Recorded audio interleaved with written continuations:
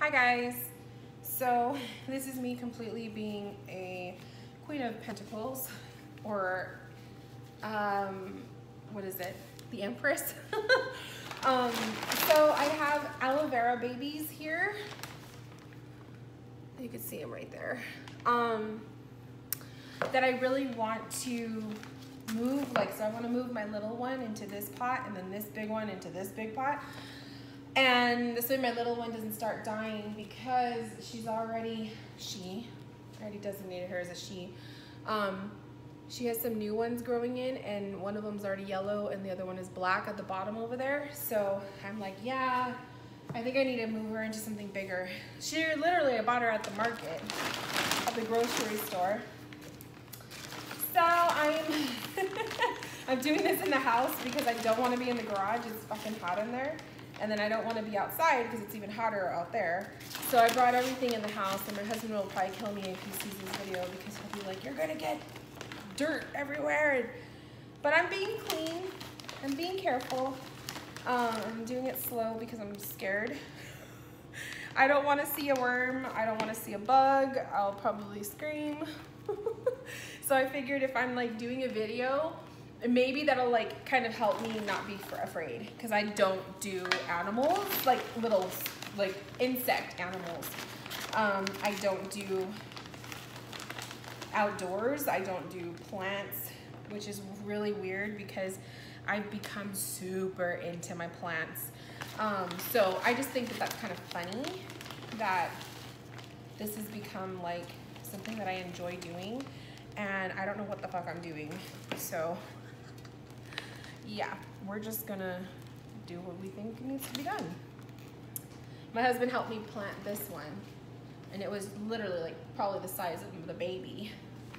So it grew in the few months that um, that I've been taking care of it. I don't know how much I'm supposed to put in here. so we'll just do a little bit more. Okay, so let's talk. Let's talk about whatever. I don't know. Let's talk about being. Oh, so okay, as a reader, I feel like it's now. This is 100% my opinion, you guys okay? Just like everything I put on my channel. On my channel and on my page, it's all my opinion. Um, but I think that it's come up for me in different conversations and just in different scenarios that the importance of knowing when you are 100% to do a reading is so important. Um, so I was having this question, not this question, I had this dialogue with another reader and I was asking her if she felt that I should mention it or I should talk about it in a video just because I wanted to like see what her opinion would be and and whatnot. So she was like, I think you should, you know, mention it in the video and stuff. So that's gonna be this video since I'm gardening. I'm gardening and, you know, trying to distract myself from possible bug appearances. Um, so I, I feel like when I'm doing a tarot reading or if I'm doing any kind of a reading for a, a client, especially if it's a paying client, I feel like it's really important to be um, almost 100% or 100% um, in that right mindset, in the right energy, um, to not be sick, to not be emotional, to not be going through crazy turmoil, um, unless you feel like you can handle it. Um, some people can handle it, some people can't. Some people do better under stress, some people don't. We're all different. Um, but I'm coming at this from my, my own personal perspective. And I know for me personally, um, if I'm going through a really emotional time, if I'm sick, um, like if I'm not feeling well or I'm really ill or whatever, I can't do readings. Um, I choose not to do readings. I probably could do a reading, um, but I choose not to. Um, I choose not to um, to do that for for multiple reasons. One, because when I do a reading for a client, I need to make sure that I am in a positive headspace, that I am in the most positive headspace that I can possibly be in. Oh my God, I don't even know how to do this. Um, because I want to make sure that I'm giving that client their the, the their money's worth. Like they give me money to entrust that I'm going to provide a service to them that I pretty much have a reputation for, right? Um, people come to me because other people have told them about my readings. They find me on YouTube or they find me on Instagram. And I set a very high um, standard for myself because I worked hard for it. And I want to make sure that my clients are getting what they what they pay for, you know, what they expect. And the, the, the things that I'm providing needs to live up to that. How do you, how the fuck do you get this out? um, so I need to make sure that I'm, I'm doing that. And if I'm not doing that, how am I being an ethical reader? So I just think that it's important that we put ourselves in check, um, that we, oh my God, I don't even know what to do. I think it's important that we put ourselves in check. I think it's important that we, we make sure that if we're not 100% um, emotionally, spiritually, I mean, physically, it's, it's, it just depends. Some people can do readings when they're physically, you know, in bedridden or whatever. that's, diff that's a different thing. But I'm talking about more of the emotional and the spiritual because I feel like we have the tendency to put our, or we try not to, but we can have the tendency to put our um, emotions and our issues and, and our stuff on other people when we're doing a reading. Basically because it's, um,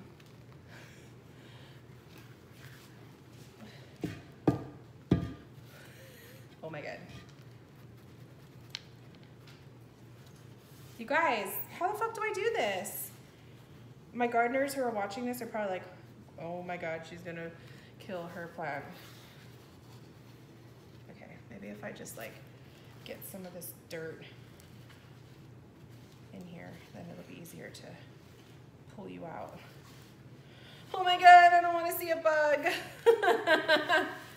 my husband would probably laugh. I told him I was gonna do this and he was just like, you're not. And I go, yeah, I am. I need to because I don't want my baby one to die.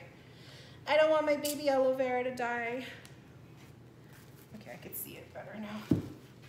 So, um, I feel like, you know, if you know you can handle it, then you're, you obviously, you, you do it at your own discretion. Everybody, everybody is different. But I always have to be make sure I have to make sure I'm close to or, or I am 100%, especially emotionally, because I am a um, I am an empath, so I do feel emotions. Um, I suck up people's emotions, and if I'm in a bad space, I can be the moodiest person ever. I can be the most negative person ever. Starla. And um, and I feel like that's just bad. I feel like I feel like I can't I can't bring that kind of um, that kind of energy to my readings. I feel like it's a negative. Um, and I'm doing a disservice to my clients who pay for a specific kind of a reading from me. And if I'm not providing that, um, it's not fair for them. And, and if the reason why I'm not providing that service to them is because I'm sick while I'm doing their reading or I'm emotionally distracted because I went through a fight with my husband prior to doing the reading, that's not my client's fault. That's my fault and that's my responsibility. So um, I feel like it's important that as a reader, um, I have to put myself in check prior to doing these readings for you guys um, because I, I'll, I mean, I will be the first person to admit I'm not always 100%, you know? Definitely not 100% all the time. Um, I have my moments. Oh, I think I almost got you. So, I have my moments, and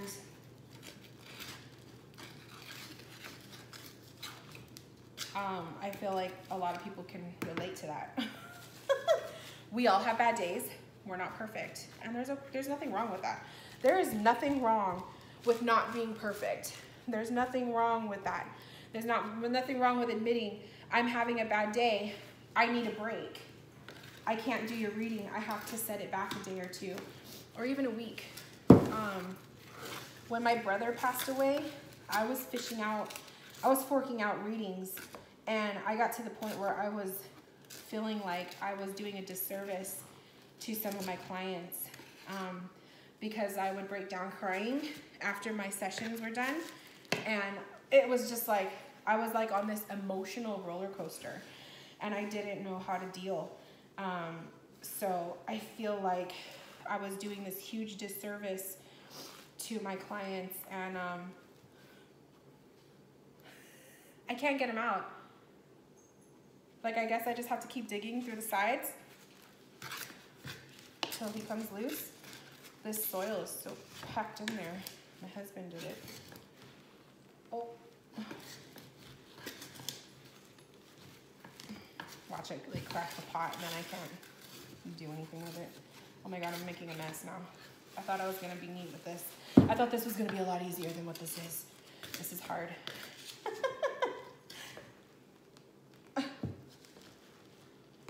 oh, I could feel him coming loose. I think it's all the roots. Oh God. Um. So yeah, you guys, I just wanted to talk about that because that's been on my mind.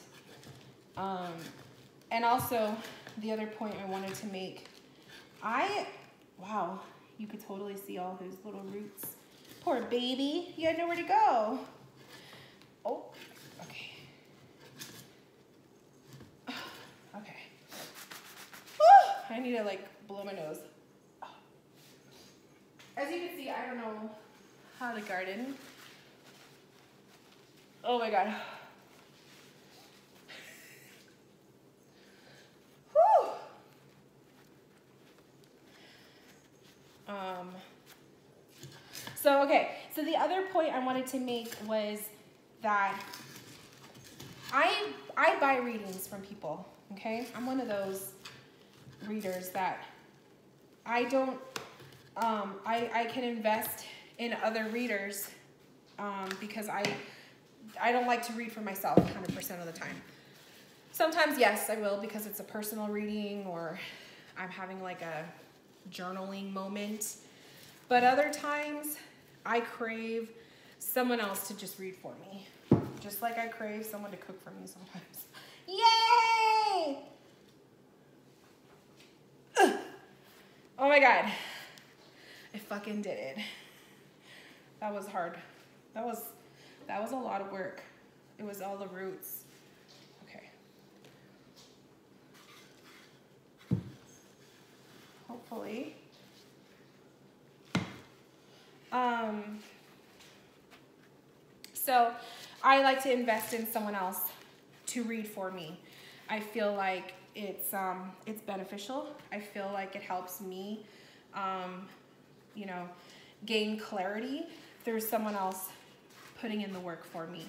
Um, and so I will purchase readings from other readers. Now, because I like to do that, I feel like if if I'm doing a service to other people and I'm making sure that I am in my most 100% headspace, oops, I totally like broke you. Sorry. Sorry. um, I expect that same kind of um, energy to be placed onto me, right? For my readings. At least I would like to hope that that's what would happen. Um, that I would hope that the integrity would be there. That the, the people that I'm purchasing a reading from, which is probably why I'm really picky about who reads for me. Um, because I, I do pay attention to people's ethics.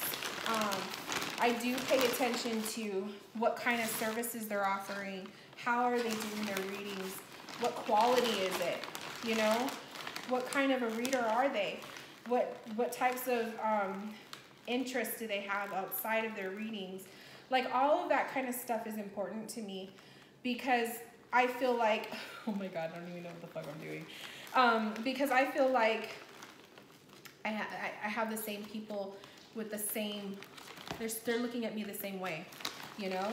People have me under the microscope. What is Rose into? What are Rose's interests outside of her readings? Is she an ethical person? Can I, do, does, do I align with her belief systems? Do I align with her videos um, that are not tarot related? How is she as a person? Would I be friends with her outside of the tarot community? Like, I feel like there's a lot of people that have me on a, under a microscope. And I, and I feel like it's rightly so because I do the same thing to other people.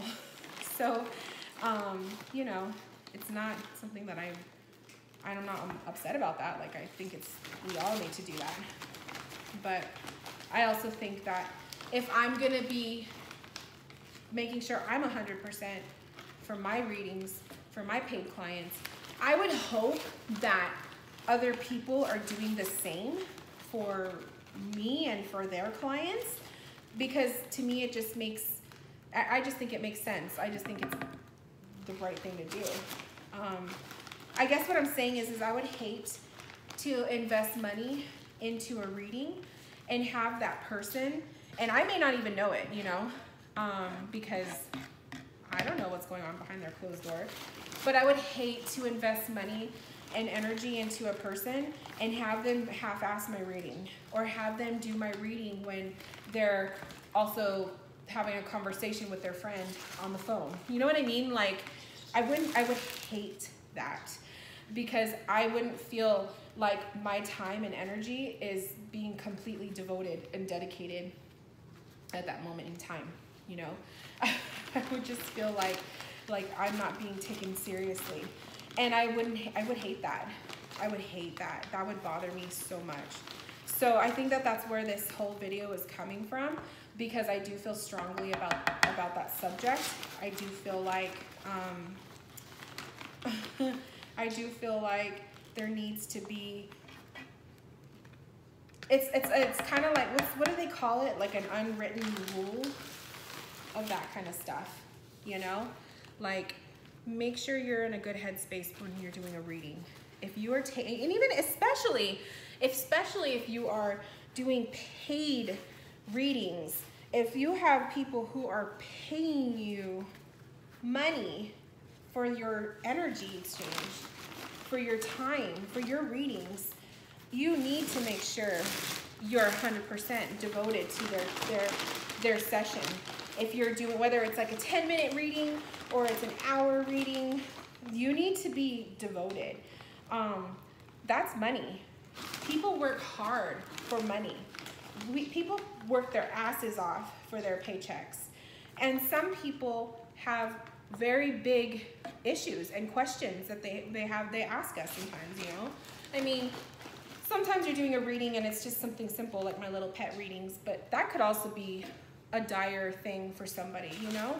But some people really pour out their heart and soul into their questions, and you can tell when you're reading that email, you're like, oh my gosh, this person is hurting right now.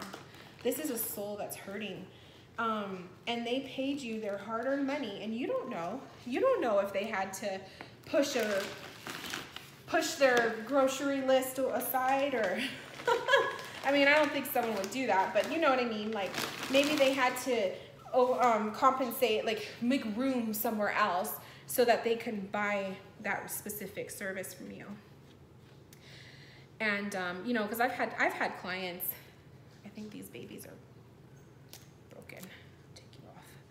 I've had clients tell me, "I saved up for for this for this reading. I can't wait. I'm excited."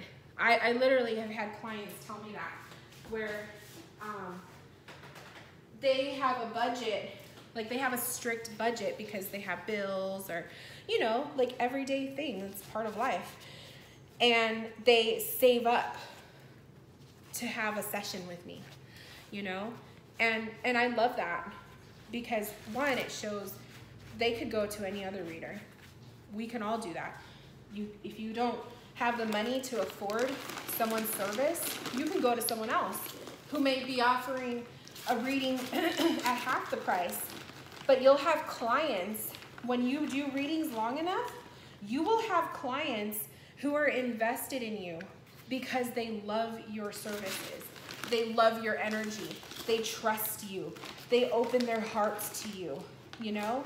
I always see it as like anytime that I have a new client, a brand new client, it's like that first visit to the doctor or that first visit to your therapist, a brand new therapist, right?